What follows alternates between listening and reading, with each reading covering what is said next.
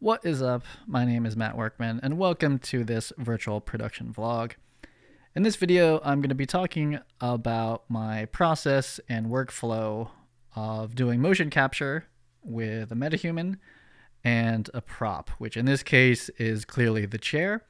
You can see that um, I'm pretty accurately grabbing the chair, or rather my CG double is, uh, it's the harder part.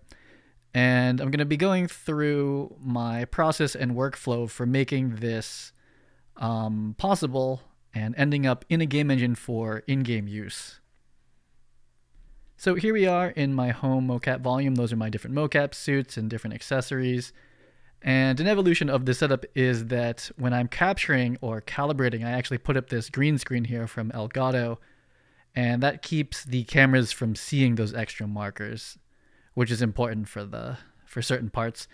And this is a big 360 turnaround of my little mocap volume here and our star of the day, the chair. So this all starts with having an actual physical chair. In my case, I went for an actual chair because you could use boxes or speed rail or all sorts of different things. But I used a uh, regular old IKEA chair, and you'll see that I have uh, inelegantly just taped the markers onto the chair in these positions. So kind of front leg, back leg, and side. Then two on the back, one on the back leg here. Sorry for the shaky footage. And then another one on the front and side. So that's where I put the markers, and they're basically in a place that isn't going to conflict with my back markers on my actual body. From there, the most important part of this is actually 3D scanning the chair. So I used reality capture to do that. You just take a ton of pictures of it. You can use your phone, you can use anything. As long as generally the exposure is pretty similar between the photos, you're going to get something pretty good. Now, mine's pretty messy and gross because it is a very shiny object and I exposed it a little bit down. But however, we have enough data here that I can take this back into Maya or Blender or whatever, and you're going to basically just retopologize it or trace it. So here I am in Maya, and uh, you can see the final topology. And I didn't go like absolutely crazy matching it, but overall the proportions and thicknesses and whatnot are a pretty dead-on match. And so what we're doing in this file is aligning the uh, virtual prop. And now this is very important as well. I mean, the whole thing, this whole process has to go right. But what you're seeing are basically locators um, from Shogun showing you where they are in 3D space. So then I take my 3D scan chair and I align the 3D scan chair that's been retop- retopologized and UV'd here for uh, Unreal Engine for games, and I do an alignment uh, within basically that like you know um, marker cloud. So it's a little confusing, but basically taking a 3D scan chair and what is pretty much again just like 3D scan marker placements in Maya and aligning them. So here we are in uh, Shogun Live. This is like a preview. This is where you're going to record all your mocap.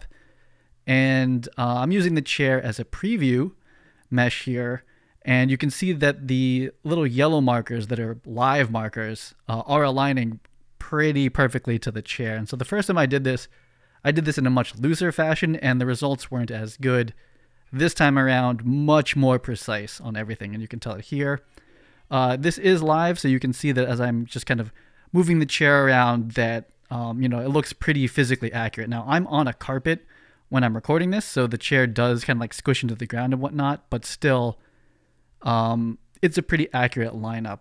And let me tell you that uh, where you cut corners on any of this process, this lineup doesn't go as well, and then the prop doesn't look as good.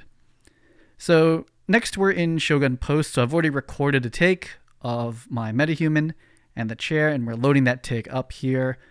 And um, here you can kind of tell uh, where things went right, where they went wrong.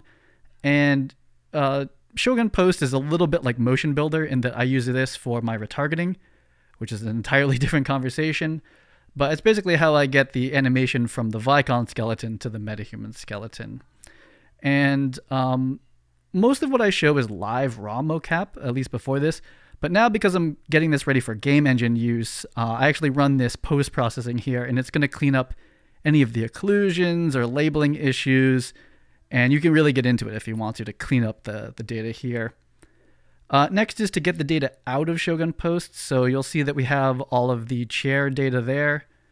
Uh, you export that with very specific settings that took me a very long time to figure it out uh, with the help of Vicon. And then here, right here, what I'm slowly unfurling is the uh, retargeted metahuman animation. So not like the Vicon animation from their skeleton, but it retargeted back to the metahuman skeleton. And actually, we could still strip out some bones and whatnot. But anyway, the, the whole retargeting and animation exporting workflow, there's still room to be um, done better. But uh, at this point, we're getting ready to bring it back into Unreal Engine. And here we are in my little test scene. We have the skeletal mesh chair that I made in Maya that's aligned. And uh, we have our animation. Is this one? Yeah. Uh, the animation of the metahuman. Um, pre-retargeted. There's no retargeting to do in Unreal Engine. There's new re- um, retargeting tools in Unreal Engine 5, but we basically don't need those. I'm going to do that in uh, in uh, Shogun Post itself. And at this point, it's kind of important to bring up the fact that the metahumans are rigged to have um, their feet flat on the ground with no shoes. But when you add shoes to them, they actually, the shoe part, the sole goes into the ground. So that would require another cleanup pass or editing pass in Unreal Engine itself. But for now, I'm just kind of leaving it. You can see that we have uh, a metahuman and we have our chair, and they both have their animations applied to it. And when you hit play, everything is aligned and playing synchronized, so temporally aligned, spatially aligned. The only real issue now is that my feet are through the ground, but you could basically bake to the control rig and then clean that all up. Uh, and if you're not interacting with props, you could just basically raise the actor off the ground about two or three centimeters, and uh, it would basically be fixed as long as like their hands don't touch the ground. And again, they're not interacting with props. That would throw off the alignment overall. So that's the workflow. It's pretty complicated. That's a lot of different programs, but I just wanted to record this, um, document it for myself, for anyone else uh, getting into this type of work, or for people that are just interested, like what goes into making something like this possible. So for the rest of this video, I am just going to put on some music and play the side-by-side -side of the um, the live action capture and the final retarget rendered in Unreal Engine. Uh, this live would have looked pretty similar. Um, it's just a little bit nicer because we've run the post processing, so it's just extra, extra smooth when it comes to the animation data, which Vicon Live is already really smooth, but this fixes any occlusion issues that may or may not happen, especially with my hands and the chair or the chair prop not having enough visible, etc., etc. So that wraps it up for this video, and I'll check you on the next one. Peace.